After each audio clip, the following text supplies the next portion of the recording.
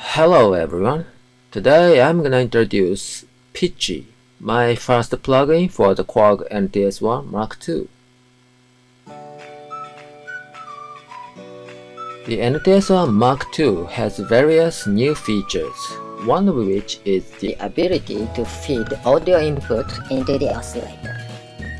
For example, the built-in oscillator can use audio signals for FM, AM, and ring modulation.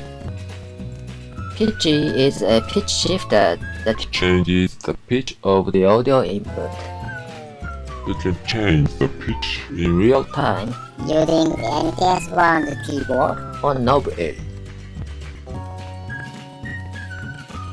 This plugin uses a granular synthesis technique. You can change the grain size from shorter than 10 milliseconds to longer than 100 milliseconds.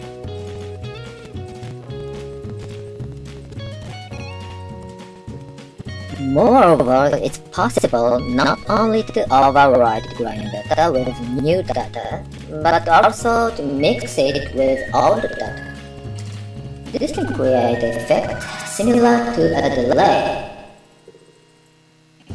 you can change the mix ratio between the original input and pitch change sounds. You can also use the keyboard to turn on and off these two sounds. Pitchy is free from the URL in the description of this video.